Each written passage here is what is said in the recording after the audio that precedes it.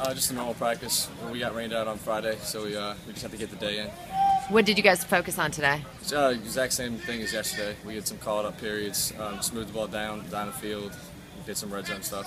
What was the biggest improvement this spring in the passing game? I think it was just everybody's overall confidence and being comfortable in the offense and uh, just being able to have fun playing ball again.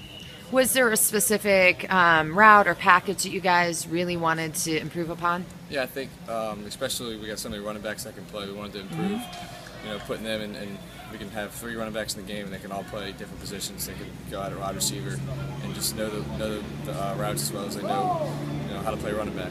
One of the things to me that was really impressive about the spring is how well the line played. Um, you know, they were seamless. It looked like this spring. Yeah, they're doing a really good job. They're just all on the same page.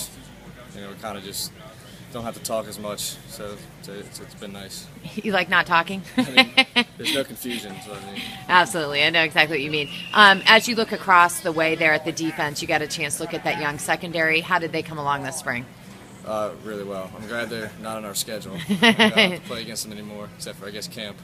But uh, they're they're really really good. Talk about the addition of Jared Franklin, having him out there. I'm sure you noticed him a little this spring. Oh, of course. Jared's a great player. He's got unbelievable speed and size and quickness, so he's a he's a big asset for us.